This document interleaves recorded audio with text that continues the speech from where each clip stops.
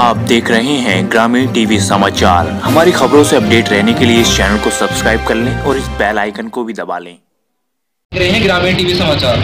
अमरोहा जिला के धनोरा मंडी में भगीरथ सेना का कार्यक्रम हुआ, जिसमें भगीरथ सेना संस्थापक सोनू जी और प्रदेश अध्यक्ष सोनू जी और प्रदेश प्रभारी जतिन बॉक्सर जी शामिल हुए।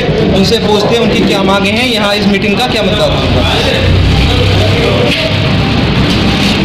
भगीरथ सेना संगठन पिछले तीन वर्षों से पूरे उत्तर प्रदेश के हर ज़िले में अपने अधिकारों की मांग कर रही है और आज अमरोहा में भगीरथ सेना संगठन के सभी कार्यकर्ताओं ने बड़े जोरदार कार्यक्रम रखा और हमारी इस कार्यक्रम की मुख्य मांग यही रही कि पूर्व में जो सरकार थी, उन्होंने इस अमरोहा को महात्मा ज्योतिबा फूले नगर के नाम से यह जिला बनाया था।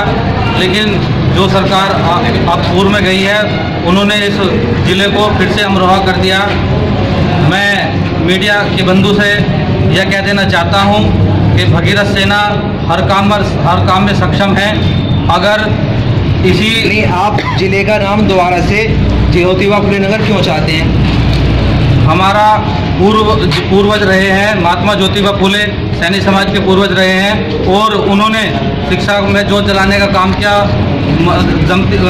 महात्मा जो सावित्रीबाई फूले ने तो उसे को ये हमारे पूर्वज हैं इसी की मांग को लेकर के आज इतना बड़ा कार्यक्रम हुआ और इसी सर, इस प्रदेश सरकार से केंद्र सरकार से यह मांग करते हैं मीडिया बंधु के माध्यम से कि इस ज़िले को जल्द से जल्द महात्मा ज्योतिबा फूले के नाम से दोबारा बनाया जाए। अगर वह हमारी मांग को स्वीकार नहीं करेंगे तो हम एक बड़ा आंदोलन करेंगे जिसका खामियाजा इस प्रदेश सरकार को आने वाली लोकसभा में भुगतना पड़ेगा। रखने का मेन मकसद क्या था?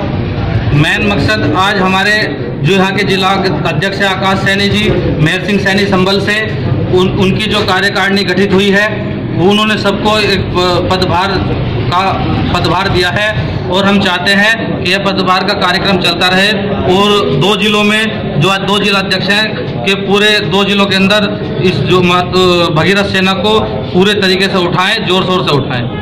हमने सुना है आपके भगीरथ सेना, राजकुमार सैनी जी, जो कि फ़िलहाल में सांसद हैं कुरुक्षेत्र से, उनको सपोर्ट उनकी पार्टी लोकतंत्र सक्षा पार्टी को सपोर्ट कर रही है।